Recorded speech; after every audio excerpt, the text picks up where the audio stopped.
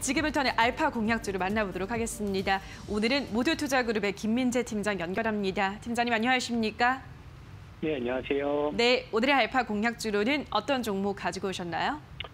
네, 오늘 뭐 증시가 어, 오미크론 때문에 좀 좋지는 않지만 이제 동화기업이라는 종목을 가지고 왔습니다.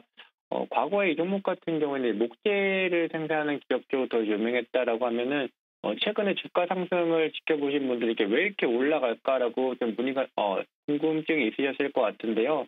바로 이제 2차 전지의 이 전액을 이 자회사라고 볼 수 있는 쪽에서 어, 생산하고 있기 때문에 이 부분이 지금 좀 이슈를 주목받고 있다라고 보시면 될 것 같습니다.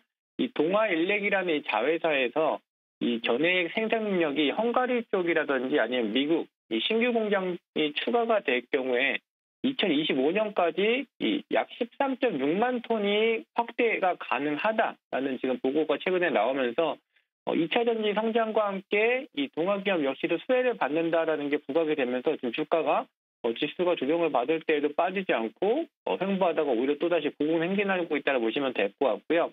지금 사실 기존 고객 같은 경우가 이 삼성이나 LG 같은 이 튼튼한 어, 좀 안정성이 확보된 기업과 거래를 하고 있기 때문에 어, 이 공장 증설에 따른 효과는 그만큼 더 커질 거다라고 보고 있고요.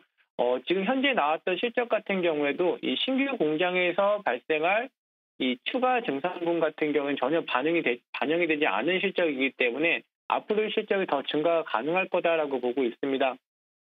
사실 지금 2차 전지 같은 경우가 유일하게 어떻게 보면 한국 증시가 이제 횡보하는 가운데서 올라갔었던 쪽이라고 업종이나 섹터라고 보시면 될 것 같은데 바로 이러한 부분이 뭐 ESG 쪽, 환경이나 뭐 사회, 뭐 지배구조 쪽 이 트렌드에 맞춰서 지금 증시에서 유일하게 좀 주목받는 업종이라고 보시면 될 것 같고요.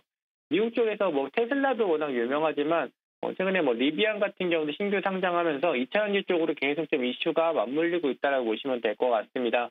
어 일단은 미국 쪽 진출이 확 어, 미국 쪽에서 추가 공장이 증설함에 따라서 어, 전액의 생산량이 훨씬 더 늘어나는 부분이 이 종목의 어, 주요 모멘텀이라고 보시면 될 것 같고요. 사실 이 전해액 같은 경우는 과거에 이 양극재나 음극재보다 훨씬 더 좀 주목을 못 받는 쪽이었다가 양극재라든지 음극재 관련된 것들이 이미 다 많이 올라갔기 때문에 이제 2차 전지에서 그 여태까지 주목을 좀 덜 받았었던 이 전해액 관련된 종목이 지금 올라가고 있다고 보시면 될 것 같고요.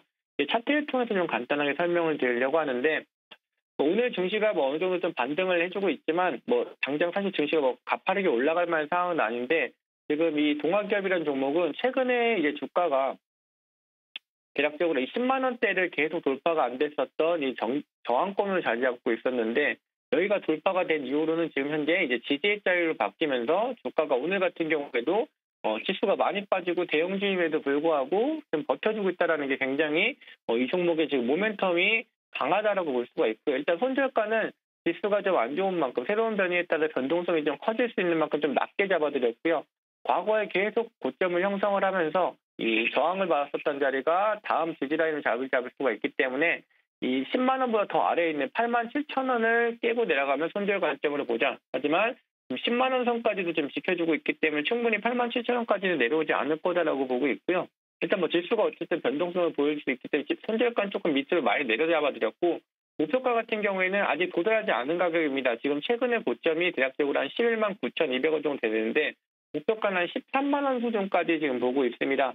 말씀드렸던 것처럼 이 실적이 이 추가 공장 증설에 따른 어, 매출액 확보가 가능한 이 부분이 전혀 반영이 되지 않은 상태의 주가였기 때문에 이 부분이 이제 앞으로 주가에 반영된다라고 했을 때 훨씬 더 높은 상승이 가능하고 주가 상승 모멘텀이 가능하기 때문에 그리고 어, 전기차 2차 전지 같은 경우에는 앞으로 뭐 탄소 저감 정책에 따라 계속 수혜를 받을 거기 때문에 충분히 가능하다라고 보고 있고요. 그래서 어, 오늘 조정받고 있지만 일단 10만 원짜리 밑으로 내려가게 되면 오히려 좀 매수 관점으로 보시면 좋은 종목을 저가에서 매수할 수 있다라는 관점을 보시면 될 것 같습니다. 네, 오늘의 추천 종목은 이 동아기업이라는 종목입니다.